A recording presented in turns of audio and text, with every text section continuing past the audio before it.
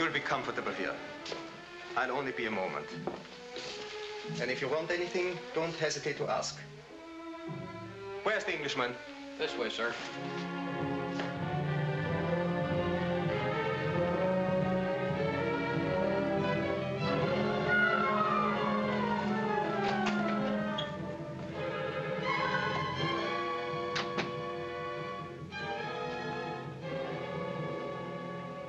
I'm Major Dichter, commandant of this district. Dichter? Yes, Major Paul Dichter. Oh, I knew an Otto Dichter once. yes, good old Otto Dichter. A pudgy-faced fella. Hanged, finally. Mm, notorious hatchet murderer. In a relation of yours? I'm glad to see you in such good humor. Well, I see you're ready to get down to business. I assume you're an officer of the British Commandos. Ah, no, that's two assumptions, that I'm a commando and an officer. And as a matter of fact, I'm only British. But in any case, what interest has it for you? The names of your contacts in Starvik. Oh, is this place called Starvik? Oh, didn't you know? No, no. I, you see, I was just out on a fishing trip. A storm blew up, and, uh, well, I was washed up on the hospitable Norwegian coast.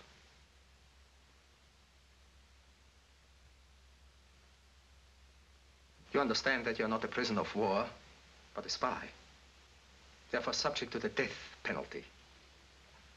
Very honestly, talking is the only way you can save your life. And very honestly, Major Dichter, if you were captured by the British, and if they questioned you and offered you every reward in the world, would you babble information to save your own neck?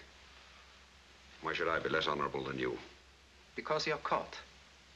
And we'd rather have you babble than kill you. I can give you several good reasons for talking now rather than later.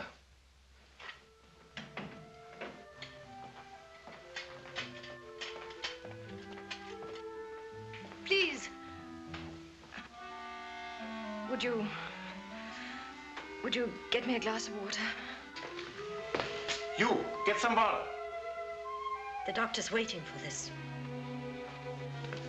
Just one moment, Fröken.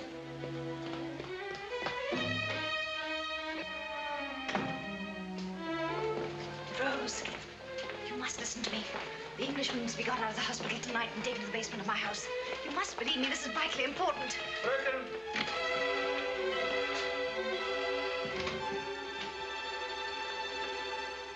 We'll meet again tomorrow in your new quarters. Feel free to call on me at any time.